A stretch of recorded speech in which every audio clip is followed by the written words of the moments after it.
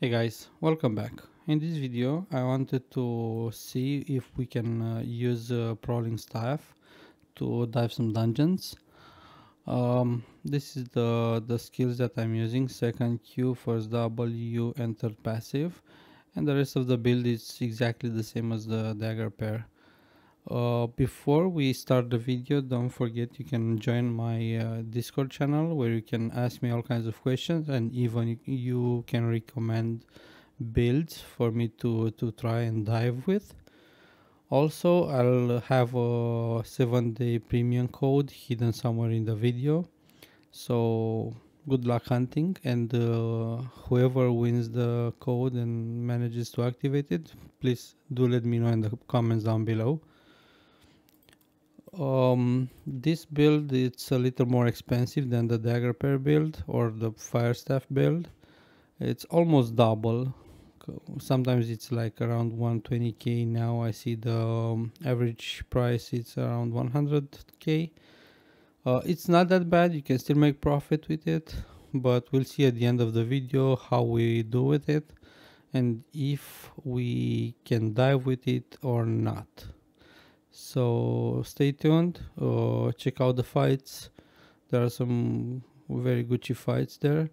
And we'll see at the end if, if I can recommend this or not. Enjoy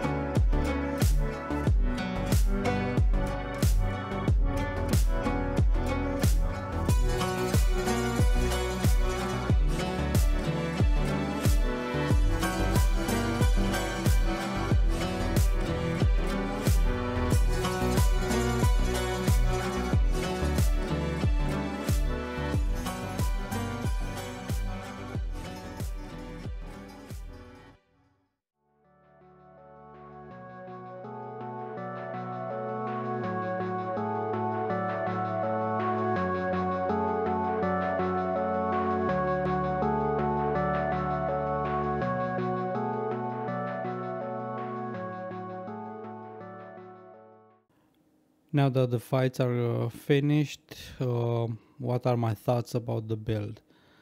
So if you want something different to dive with and uh, you want to spec it up or you already have specs in uh, prowling, prowling staff uh, I can see you make some profit with this build. Uh, depending on your trash rate because as you can see my, my trash rate was not that great. A lot of items trash I got ganked. Uh, also I lost some fights where I feel that I didn't play as I sh I should have. But you can still dive with this weapon. It's decent. Uh, it's not the best. Uh, I still think uh, fire staff and dagger pair are way better. But if you want something different we can you can still make profit with this one. Uh, so yeah grab yourself a prowling staff uh, and let me know how it goes. Also, do let me know down in the comments what uh, other weapon should I try and dive with. Because um, I want to try to stay to start make a series where I can try different builds to dive with. So I hope you enjoyed, and I'll see you guys in the next one.